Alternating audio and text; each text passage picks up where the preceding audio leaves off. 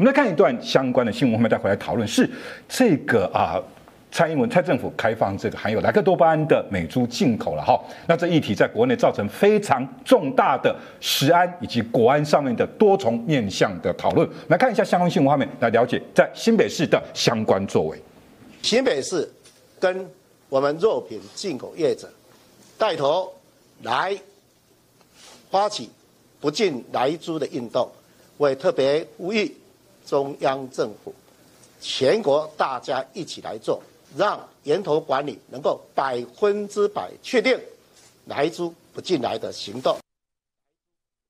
好，回到现场，市长，这个地方政府跟中央政府的对这个来租的管制或是进口议题上，似乎有南辕北辙的不同的思考了哈。那我觉得中央政府在这部分应该做进一步的沟通跟协调。来聊一聊新北市的哈，最近的相关的公开资讯揭露，包括市长您跟一些业者说守护新北不进来租哦，哎，包括宣誓也请业者来做一个共同的联署了哈。那市长你在脸书上面也提到说拒绝来租源头控管哈，新北市十八家。肉品输入业者共同宣誓不进来租了。哈，OK，书又回到我们过去有一个很有趣的一个观点，用好心肠来做好香肠了哈。做几个好的食品业者，那尽量替消费者把关哦。那这咱干嘛讲卖假香这是尽量卖家物件，那卖甲下咧来对了哈。那那天我记得访问那个是谁啊？不是戴香怡，那个呃，过去呃那个新北市议员一个女生，她也提到说，市长您在这议题上面有很多您。作为一个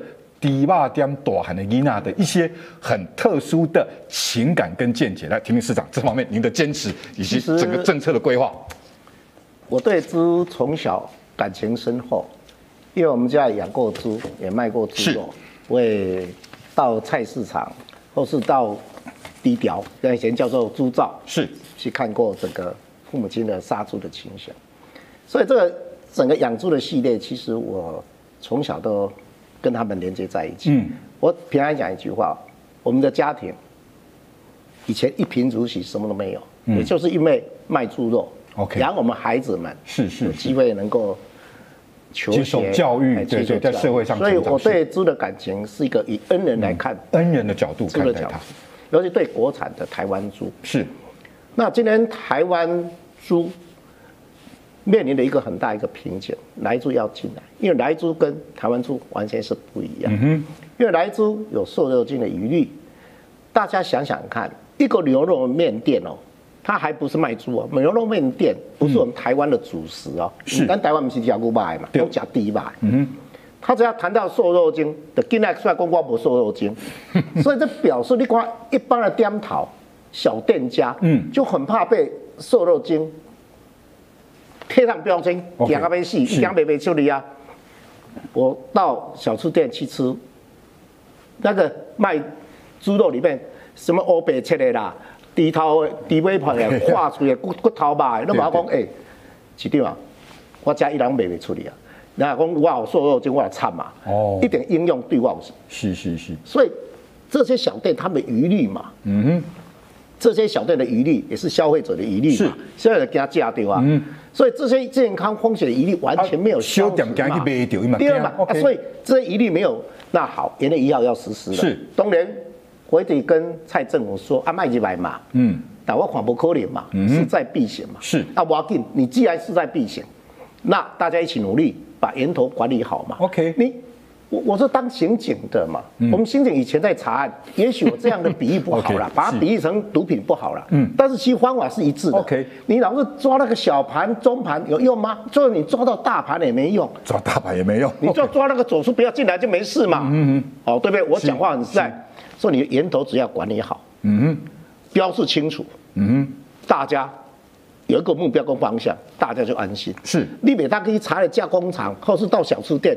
你去没当查，那个实在是效果微乎其微。哎，为上丁好开始。所以我那时候，我们的肉品业者，我鼓励他们不进来。是，是因为他们自己也觉得说，我就弄国产猪就好，嗯，或者其他的猪就好了，我干嘛一定要进来猪？是，其他国家也没有来猪啊，不是说外国都有来猪，没有啊。是，那我干嘛要进来猪？万一被污名化以后，我卖不出去，会更惨。是，所以他们也自己主动说，我们不进来猪，所以把这个串起来。是，那其实这是对的。那包括未来国外是哪些要进来租的，政府要派人去查货号嘛、厂号嘛。那你进来以后，进来以后，你的源头管理其实很简单。OK，你在食材登录里面，你批个专区，好，你进来以后是标示我进来了这个是不是来猪，或是不是来猪？我来资的货号是几号到几号？嗯然后我卖给哪一个下游工厂是谁？一清二楚，一清二楚。你让我们查的人也清楚。嗯，那我主要先源头再查你对是货号，啊五几百五几百就做清澈来嘛。那你下游我就一个数字型的，我就可以掌握嘛。嗯，那今天新北市做了。为其他各县市大家一起来做，中央带头来做。是，那这样一个做法呢？你规划这个不需要跟中央，不不不，我你呛度啊！不不不，我从来不我不做这种事情，因为我觉得这是我过往经验，我们要这样做。哪里把 SOP 标准作为流程，中央地方一起做，你顶出来啊？我打个道理来做。OK，是，你看是，说我一直讲说。来之不进校园，嗯，没有错，人家中央也支持来之不进校园啊，我说很好。那你不是来之不进校园这些顾为你啊？你的严格标准要定到多远？嗯，好，果然不会去冒这个风险。嗯，所以我跟团膳业者、智力午餐业者，我都讲过嘛。另外，利亚有严重，我就给你解约嘛，永不再跟你续约嘛。是。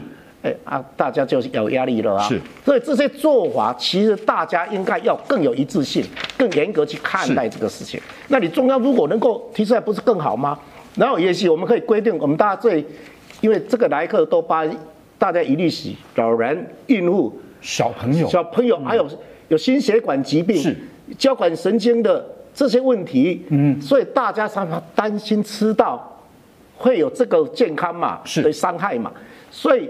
这些机关像医院、产后护理之家、一般护理之家、哦，安养机构，你的规定没使卖嘛，没在价嘛，没使价嘛。那这个是政府可以做得到的啊。既然有健康风险，一律先把剔除，家他们不可以吃嘛，是。要保护好嘛。那你建中央应该把这 SOP 定得很清楚，源头管理好，然后下来是哪些单位绝对不准是吃，然后整个事实状的管理，公共情策地方。人力物力怎么查？市长，你这些说法在行政院院会有没有跟苏院长进行面对面的沟通？其实我多次表达，不管在媒体上也好，不管在私下也好，我觉得很多事情不是包括私下，哎，很多事情不一定要去公开。我没有要跟谁公开唱反调，我只是希望我是跟之有感情的。嗯哼，我们希望最重要，国人的健康是无价的。是哈，不管在什么场合，只要我碰到。政府官员很多嘛，我经常碰到，我也讲啊，包括部长、主委等等，这这其实这些才是这这些才是最重要执行的官员嘛。那每天我都在讲，然后我们各级处所长也经常有机会跟他们开会啊，也可以讲啊。那今天我希望中央他说明天要去谈 SOP，我需要把这个 SOP 定得更严谨、哦更透彻，是是，那大家来好好执行嘛。是。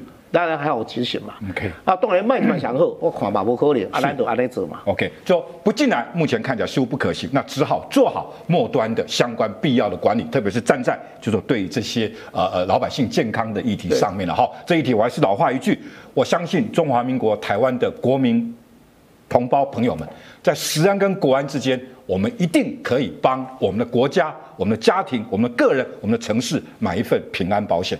大家努力把焦点对在必要的议题上面，好好沟通，好好合作了哈。